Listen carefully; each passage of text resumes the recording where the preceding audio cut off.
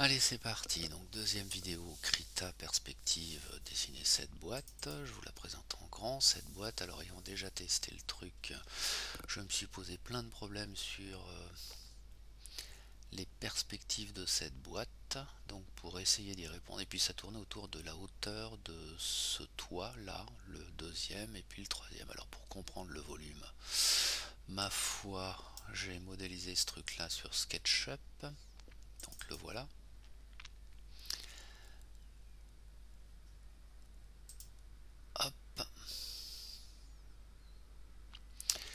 Et pour réaliser ce superbe objet, moi je me suis dit, euh, hop, pardon, le voilà, pourquoi pas imaginer une boîte qui serait un garage, et puis après c'est composé de boîtes, les volumes. Donc je vous présente mes boîtes, voici euh, bah, une boîte, la plus évidente c'est celle-là, hein, tout ça là, ça c'est ma boîte, mais en fait en dessous c'est le volume de la même boîte, me demandez pas comment cette boîte tient dans le bâtiment. Hein. On va dire que ils ont mis de la ferraille. Mais cette boîte, c'est le même volume que celle-là. Alors l'intérêt de SketchUp, c'est que ça me permet de tourner. Voilà, donc on voit bien que ce sont des boîtes qui sont identiques. Là, je l'ai un peu défoncé pour faire une vague terrasse. Euh, mais ici, vous avez les volumes euh, format boîte. Alors, je dis ça. Je dis ça, je dis ça, mais elles ont pas la même largeur, donc j'ai dû étirer pour une raison que j'ai oubliée. C'est plus large par là que par devant. Ou alors c'est des demi... Oui, enfin bon. Euh, donc on a le volume là. Alors après, si j'essaye de faire exactement la même vue que sur cette image là, le plus simple c'est probablement mettre une d'un côté et celle-là ici. Alors si je me mets là et si je dézoome,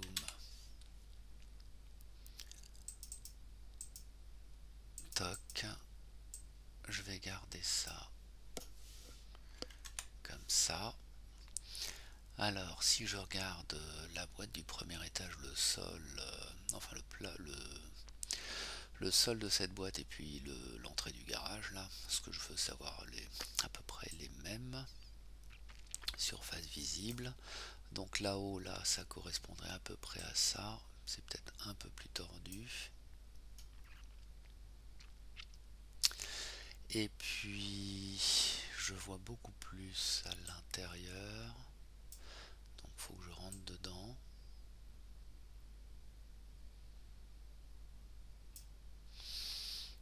Est-ce que ça, ça conviendrait?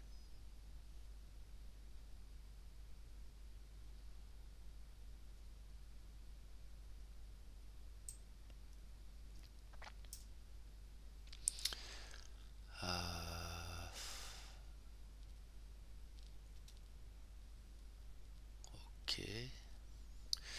Alors après, si je reviens là-dessus,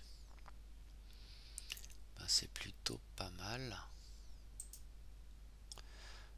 j'aurais peut-être pas dû j'aurais peut-être pas dû la tirer. Non mais ça devait ok donc ça on va dire que ça correspond. Moi je vais vouloir me faire une copie d'écran de cette vue toc que je m'en vais enregistrer pour euh, l'utiliser par la suite.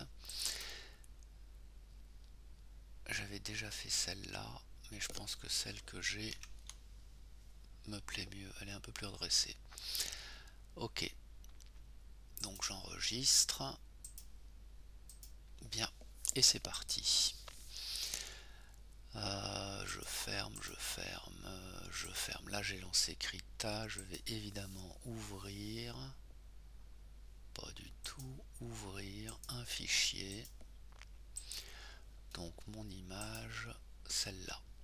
Toc elle est là. Alors, l'intérêt, euh, l'intérêt, l'intérêt, l'intérêt, ah, c'est la roulette, pardon. Euh, l'intérêt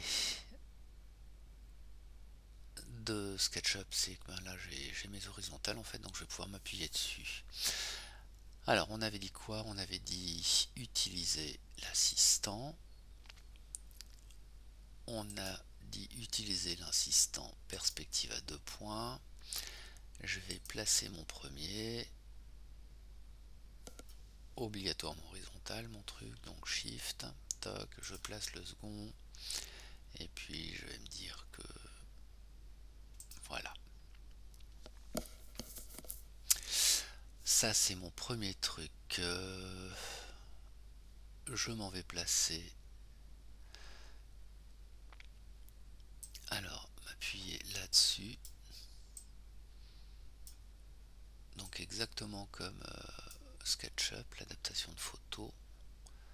Alors là, j'ai grande peur. Non, c'est bon. Ici, je m'appuie sur cette face-là. Et l'intérêt, hein, c'est qu'à la base, voilà, ces deux points-là, je pourrais les, les rendre jointifs. Ce qui me donne donc un point de fuite très fuyant sur la gauche et puis moyennement fuyant sur la droite. Ok. Alors si je zoome un peu dessus. Toc. On dirait que c'est ancré. Non? Ça c'est plutôt pas mal.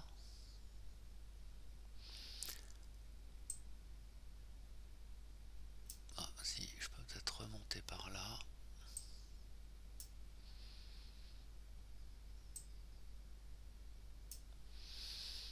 et par en bas, bah, ça me plaît vachement. Ok, donc c'est fait. Je vais là. Je m'en vais créer un nouveau calque sur lequel je vais le dessiner. Mon arrière-plan là, qui contient cette copie d'écran de SketchUp, je m'en vais la fermer.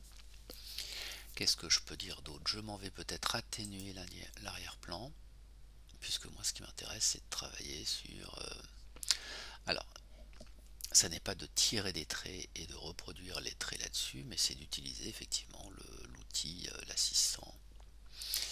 Donc je m'en vais prendre pour le coup la tablette,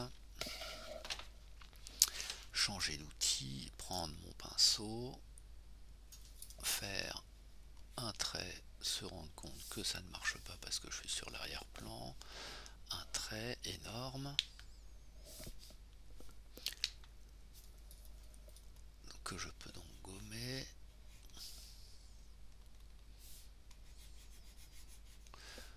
ok. Donc ça c'est la gomme. Et donc un trait plus petit. Ça ira bien. Hop.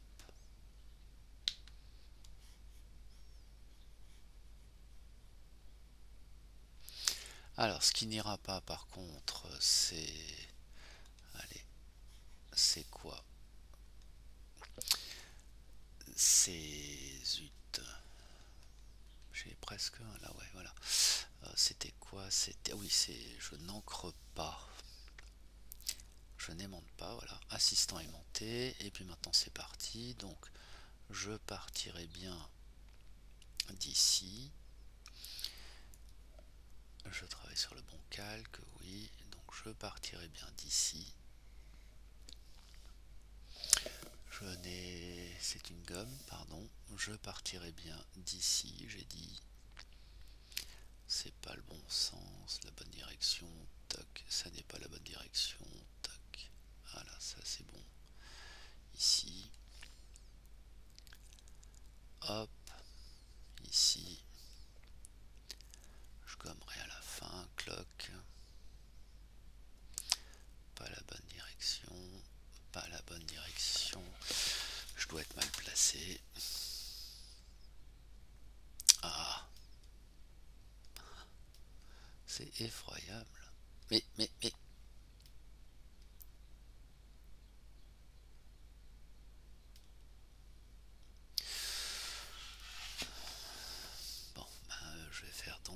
Hein. Toc, ça, ça marche mieux. ça, vertical. Ok.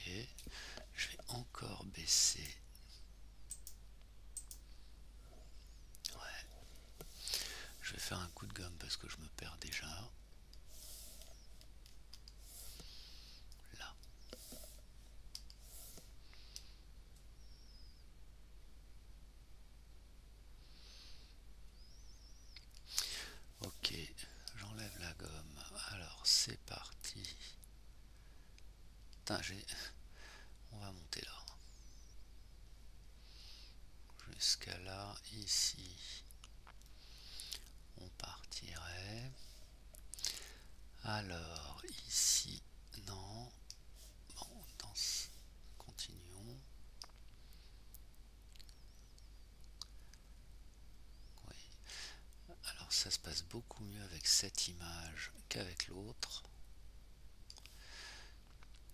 Et je pense qu'il y avait bien d'énormes problèmes de perspective. Toc. Je me déplace.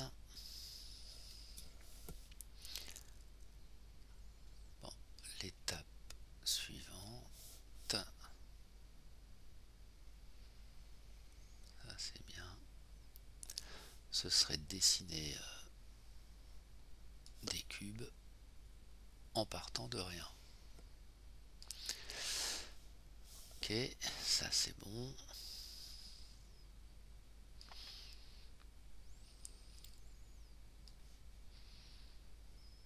Raté.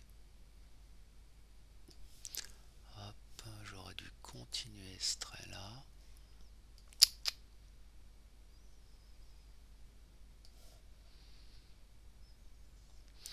Alors le truc que j'aime beaucoup moi c'est l'énorme réticule qui fait tout l'écran ce qui me permet de m'arrêter regarder. Par exemple là je m'arrête ici. Là. Parce que j'ai regardé ce qui se passait là. Raté. Hop. Raté. Donc là j'ai ma façade. Hop. Je vais créer un autre euh, calque que je vais mettre euh, en dessous.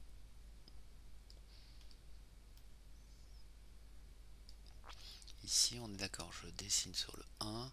Celui-là, je vais me prendre un autre outil une brosse. J'ai lequel là par défaut va être celui-là, je vais prendre ça. Ok, c'est parfait. Je vais mettre du blanc. Voilà, ça c'est juste histoire de bien comprendre.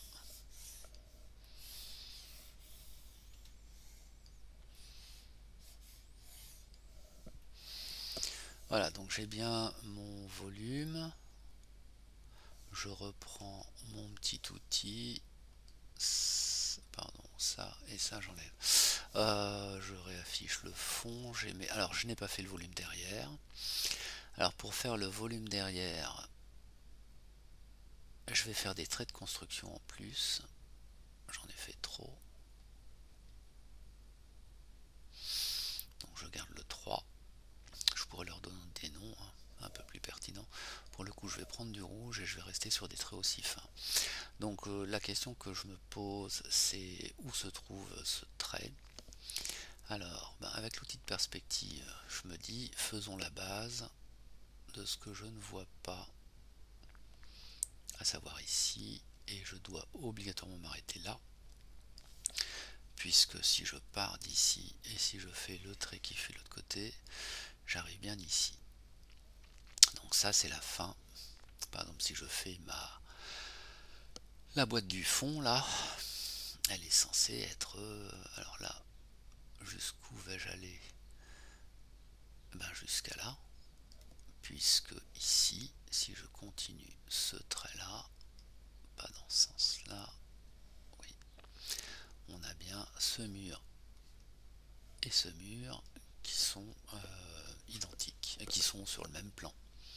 J'ai un petit doute là.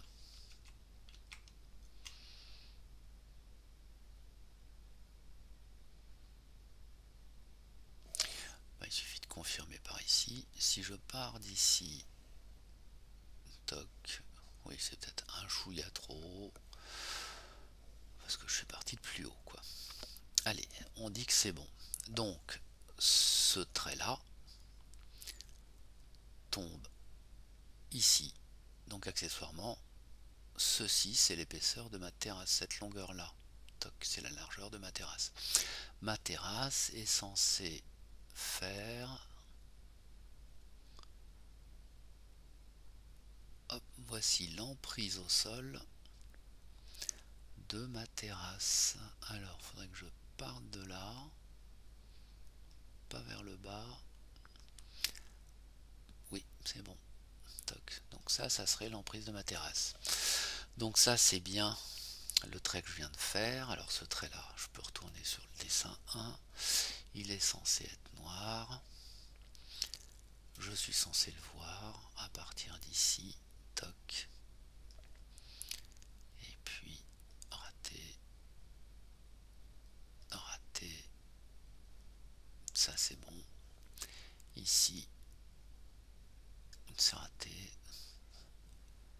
Un taux d'erreur assez impressionnant. Je m'arrêterai là. Je remonterai. Hop. Donc là j'ai fait mon truc. Et le dessin 3 si j'enlève, hein, euh, voilà. Ça c'est pas mal. Et je pourrais faire exactement la même chose. Je vais le faire ici. Donc je reprends mon petit rouge. Que se passe-t-il?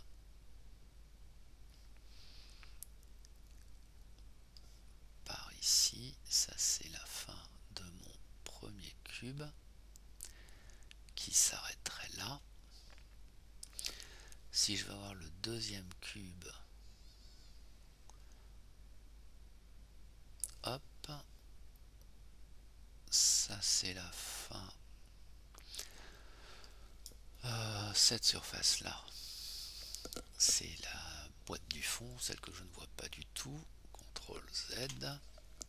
Ce qui me permet maintenant de faire les verticales.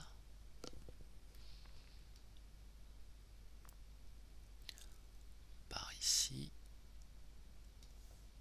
Ici, ça serait raté. Oui, et puis si je pars d'ici, là j'ai tout le mur du fond. Toc. Euh, donc là j'ai... Et d'ailleurs j'avais pas du tout besoin de ce mur là, puisque moi ce qui m'intéresse c'est ce qui se passe ici. Enfin j'ai besoin du mur du fond aussi. Jusqu'au mur du fond, donc il doit être par là. Donc c'est bien la base. Voilà. Et ça me permet d'avoir accès à ça. Donc je me remets en noir. Je re c'est ballot. J'ai fait ça sur oui. Et ben je voilà. Toc. Ça je prends. Pas ça. Et pas ça. Et ça je prends. Toc. Alors je ne sais pas. Tiens d'ailleurs comment réaffecter je peux pas réaffecter des traits donc j'y vais de ma gomme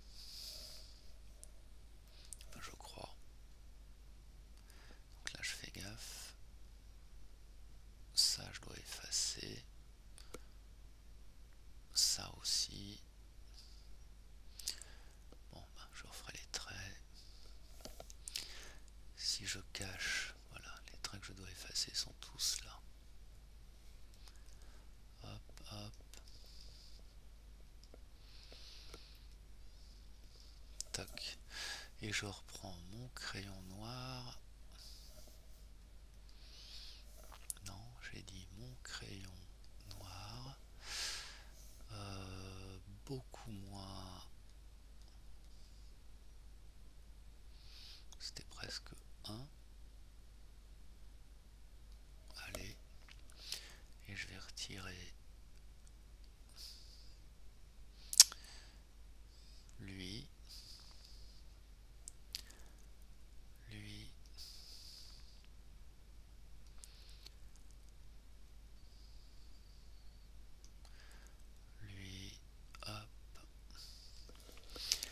cet outil perspective, c'est ma tablette, je crois que je... La tablette bien à plat déjà, ça serait mieux.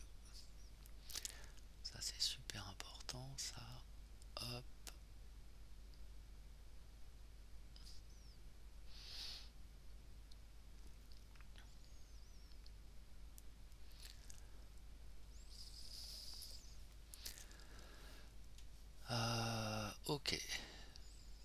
je n'ai plus qu'à faire les ouvertures.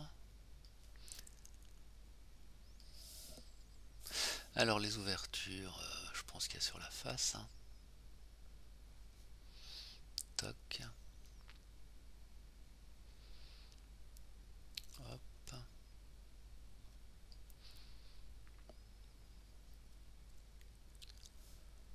Ouais. Et puis là j'ai la l'épaisseur qui ne se voit qu'en haut, hein, je suis en contre-plongée et qui se verrait que sur ces deux faces là, ici c'est caché. Donc là c'est le même système, sauf que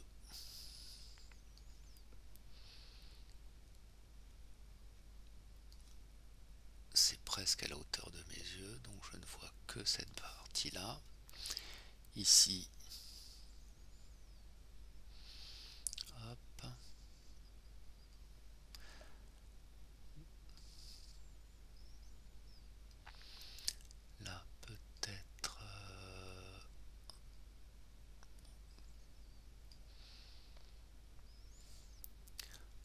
aucune chance d'y arriver. Alors, il y a ce qu'on appelle un zoom Alors, si je pars de là et que je fuis, bah, ça c'était la bonne direction, donc je me mettrai là. Si maintenant je remonte, ouais, ça doit me faire à peu près ça. Euh, et puis ça, ça, alors je dois voir un peu du bas.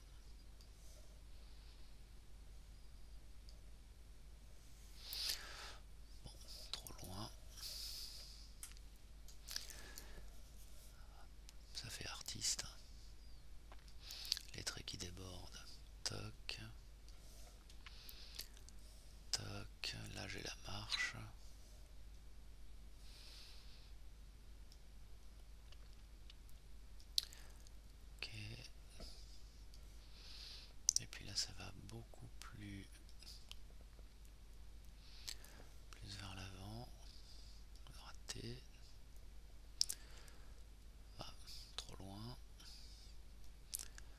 oui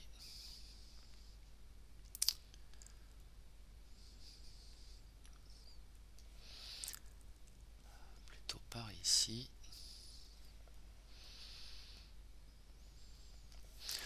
Bon, à quelques cafouillages près.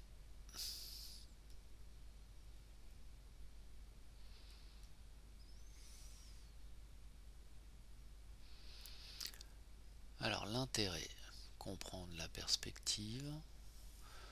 Deuxième intérêt, prendre en main sa tablette, ce qui n'est pas mon fort. Troisième intérêt, ah, si vous savez utiliser SketchUp et l'adaptation de photos, c'était pas mal. Puis là, ça doit être par là, j'imagine. Toc. Et si je masque et je...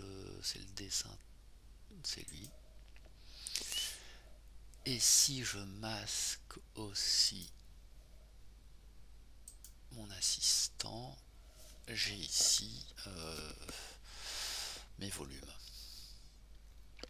Bien, alors si j'enregistre ce truc là, fichier, ça me fait un fichier CRA enregistré.